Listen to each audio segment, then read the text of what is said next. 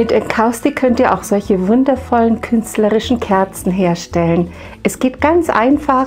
Ihr benötigt nur ein Maleisen, eine Stumpenkerze und Wachsstifte. Und wenn ihr diesen ganzen, äh, ganzen glanzvollen Auftritt noch haben möchtet, dann noch etwas Zauberfolie dazu. Dann könnt ihr aus so einer ganz einfachen weißen Stumpenkerze so ein Kunstwerk herstellen. Äh, eine andere Möglichkeit ist noch diese Kerze hier. Die sieht etwas rustikaler aus und kein bisschen weniger schön. Sie ist genauso schön. Ich finde sie ganz, ganz toll. Und die könnt ihr natürlich farblich äh, wählen, farblich herstellen, wie ihr das gerne haben möchtet. Die andere natürlich auch. Und wie das funktioniert, zeige ich euch jetzt gleich. Für die Gestaltung von dieser Kerze mit Enkaustik benötigt ihr zunächst natürlich eine Kerze. Ich habe hier so eine weiße Stumpenkerze, mein Maleisen, ein Spachtel. Also ich habe jetzt diesen Spachtel. Ihr könnt aber so diese ganz normalen, die man ähm, zum Bauen nimmt, auch nehmen. Dann natürlich Enkaustikfarben, Enkaustik-Wachse, äh, dann noch ein Schwämmchen und was ich dann zum Schluss noch drauf geben möchte, ist ein Zauberpuder. Ja, das wäre zunächst mal alles. Als erstes bauen wir unser Maleisen zur Malplatte um. Das heißt, wir nehmen den Griff runter und geben das Eisen hier drauf. So. So dass ich die Malplatte habe.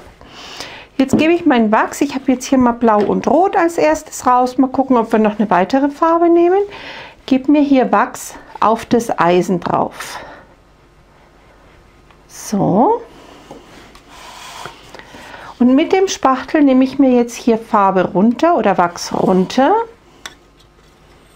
So und gebe es hier auf die Kerze drauf.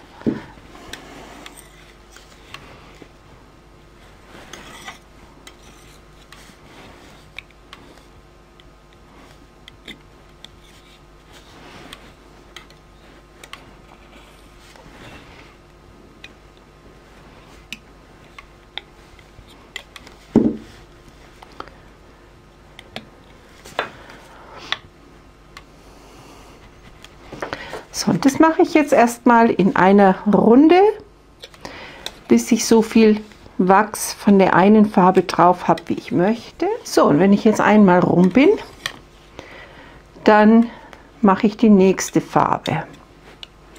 Jetzt habe ich hier mal das Blau und nehme jetzt mal ein bisschen Rot dazwischen und mache das hier wieder genauso. Ein bisschen Farbe aufnehmen und hier dazwischen gehen. Immer schön auftragen. Ich versuche jetzt hier mal ein bisschen so in die Zwischenräume zu gehen.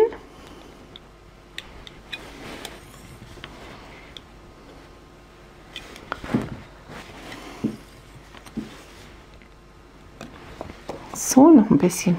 Und auch das wieder, bis ihr einfach rundrum seid und so viel Farbschichten oder Farbwachs drauf habt, wie es euch gefällt. So, das wäre jetzt die zweite Schicht. So, ich habe jetzt hier noch Gold und ich mache auch gar nicht großartig das Eisen sauber. Ich nehme das gleich. Jetzt ist das Eisen ein bisschen zu heiß. Das sollte man jetzt ein wenig runterdrehen. Und auch hier nehmen wir wieder das Wachs auf und geben das hier schön drüber.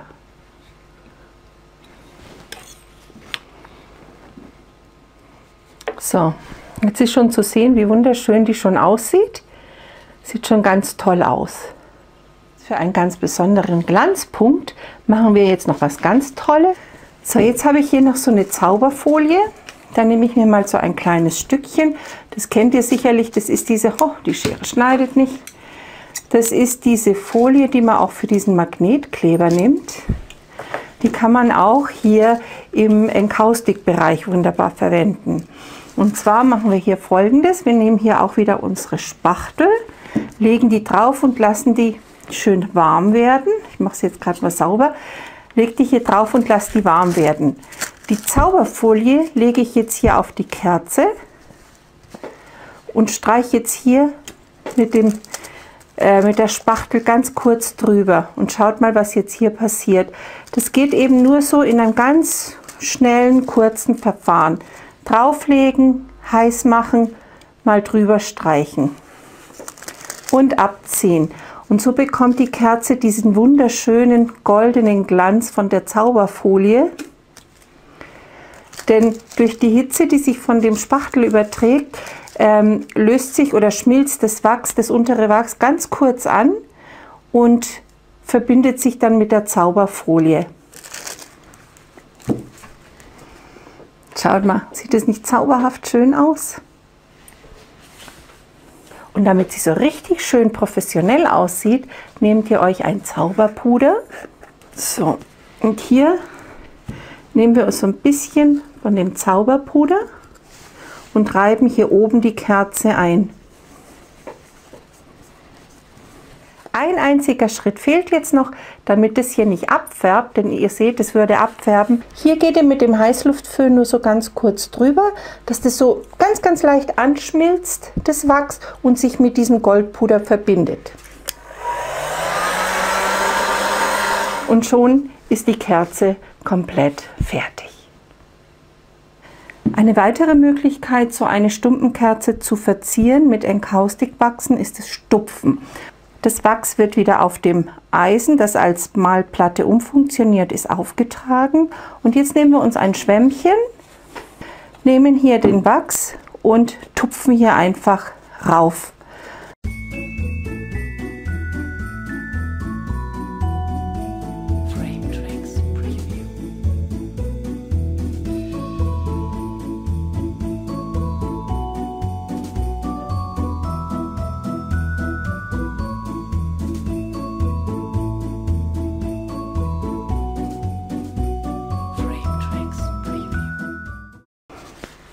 Und ihr seht auch hier wieder eine wunderschöne Kerze, etwas dezenter vielleicht als die vorhergehende, aber auch ein Traum von einer Kerze.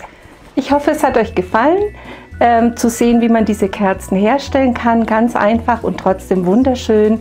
Jede Kerze ein Unikat.